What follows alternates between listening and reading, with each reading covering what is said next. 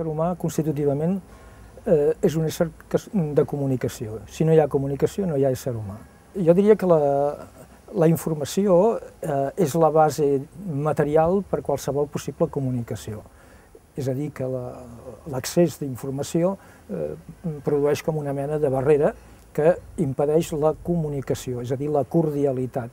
I aquí eh, crec que és important de tenir en compte que eh, comunicació té la mateixa arrel que comunió i que comunitat. Aquests tres, aquests tres termes, comunitat, comunicació, comunió, en, el fons indiquen eh, aspectes de la mateixa, de la mateixa qüestió. Aquest intercanvi, aquest intercanvi eh, cordial eh, que fa que l'ésser humà pugui realment eh, arribar a ser ésser humà.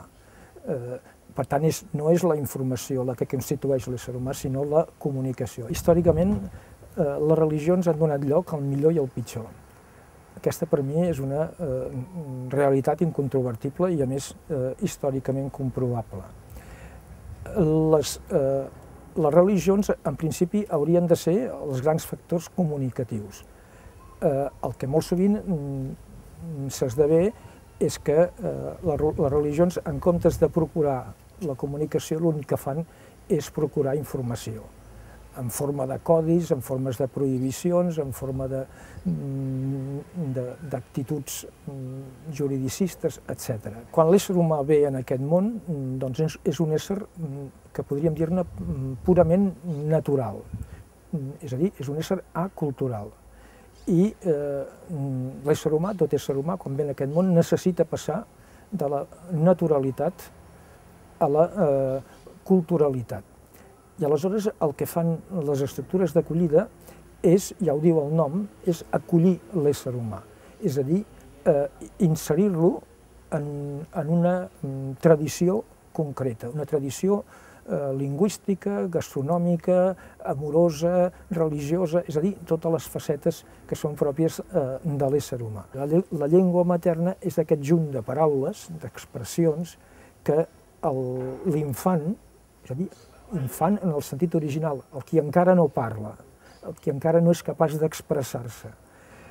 Eh, doncs eh, aquestes, aquestes expressions, aquestes paraules de, les, de la llengua materna no fan sinó que eh, permetre a aquest infant que vagi eh, sentint-se acollit i reconegut i per tant mm, sentir-se acollit i reconegut vol dir sentir-se capaç d'expressar i d'expressar-se. S'ha de tenir en compte eh, que l'ésser humà fonamentalment és un ésser ambigu i, i, i per tant que eh, les, la vida mm, per l'ésser humà eh, sempre es pot resoldre positivament o negativament.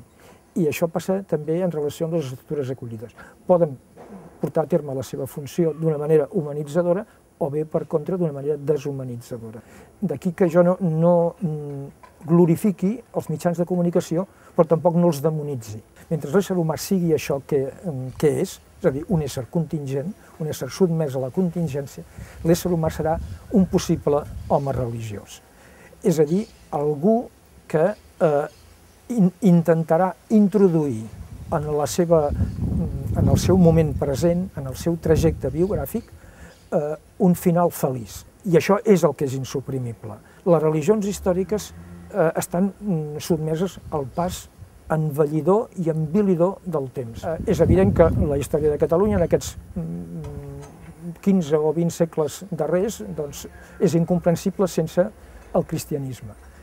Però el cristianisme com a fenomen històric, com a fenomen mm, que s'ha contextualitzat i que s'ha anat vivint i que s'ha anat eh, retocant i que s'ha anat configurant eh, a, a, a tenor dels canvis, dels reptes, de les qüestions.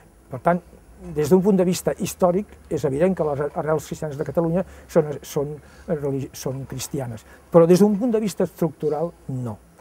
Eh, des d'un punt de vista estructural, hauríem de dir que les arrels de Catalunya i de qualsevol poble i de qualsevol individu són religioses.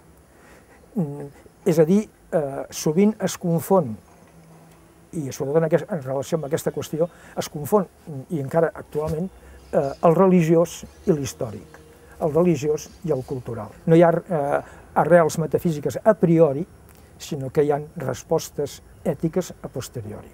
Diria que eh, el que pretenc en tots, eh, en totes les, els meus textos és, eh, en primer lloc, eh, una autocrítica, és a dir, un posar-me en qüestió a mi mateix, i després també una crítica del, eh, del món mm, que m'envolta, del món en el qual em sento a casa meva.